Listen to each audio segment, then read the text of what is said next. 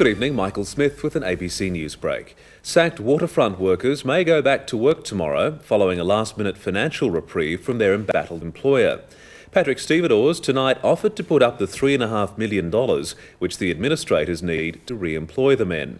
The move follows the High Court's rejection of Patrick's appeal against an earlier reinstatement decision.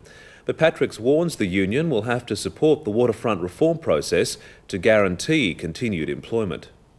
Victorian detectives are heading for Darwin tonight to apply for the extradition of Brendan Berrichon, who was apprehended in a city apartment building this afternoon. Berrichon's wanted in connection with the shooting of two police officers a fortnight ago. He's allegedly been on the run with Brendan Abbott since November. Abbott was arrested in Darwin on Saturday.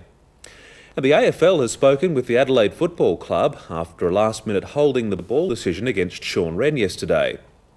Umpire John Harvey stands by his decision, but Crows fans have been complaining about it all day. Rehn believes he took the wrong option, which resulted in North kicking a goal and beating the Crows by four points. Adelaide's weather, cloudy at times, but fine, a top of 19 after dropping to 10 tonight. We can expect a few showers with a change on Wednesday afternoon. That's all from the Adelaide newsroom for now. Good night.